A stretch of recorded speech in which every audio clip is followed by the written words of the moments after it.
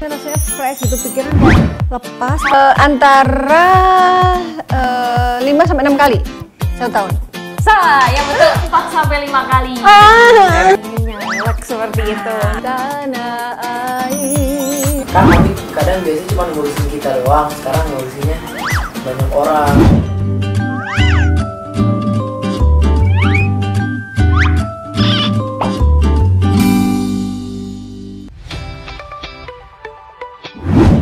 Halo Sobat Medcom, kali ini saya sedang berada di kawasan Cibubur. Tepatnya kali ini akan menemui seorang artis yang juga penyanyi, yang juga pemain sinetron, dan juga membawakan reality show sebagai presenter seperti itu. Dan kabarnya baru-baru ini dia nyalek. Wah penasaran kan siapa? Dan kali ini saya juga janjian untuk olahraga yoga bareng. Langsung ikuti saya yuk.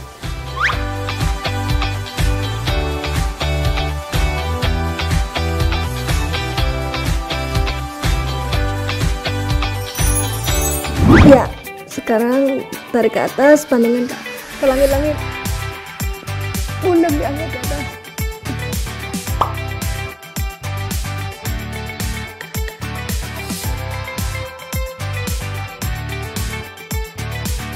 Jadi ini dia sosok yang tadi saya disebutkan di awal. Ini dia Mbak Ratna Listi. Apa Iya. kabarnya Mbak? Ah, baik.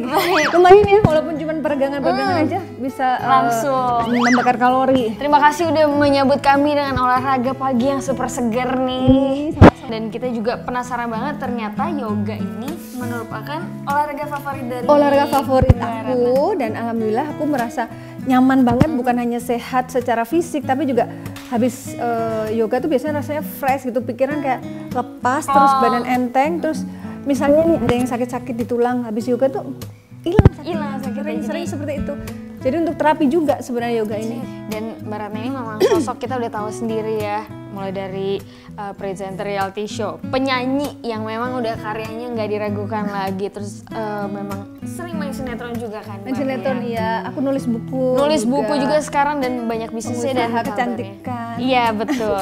dan konsultan spiritual loh banyak lagi kalau ditanya soal Mbak Ratna itu kalau ditanya berarti udah nggak main sinetron, udah nggak aktif di on air tuh. Mbak? Masih. Oh, masih juga. Ya, ternyata sekarang yang paling banyak sih off air ya, karena on air itu kan TV-nya terlalu banyak ya. Jadi sekali-sekali muncul kadang orang nggak bisa lihat, nggak nggak Paling terdeteksi. mungkin talk show atau apa. Kalau kalau off air alhamdulillah hampir setiap hari aku ada kegiatan off air. Dan seru banget ngobrol-ngobrol sama Mbak Ratna, memang sosok yang sangat inspiratif, apalagi sekarang katanya nyalek. Ih, Nah, itu pasti itu- baru lagi tuh.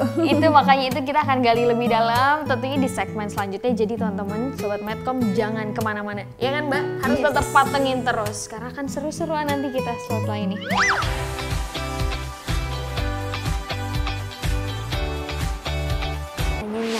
Seperti itu, ini seru banget nih. Mudah-mudahan aku bisa lebih banyak manfaat untuk masyarakat yaitu memperjuangkan eh, apa yang mereka ya hak mereka apa yang mereka butuhkan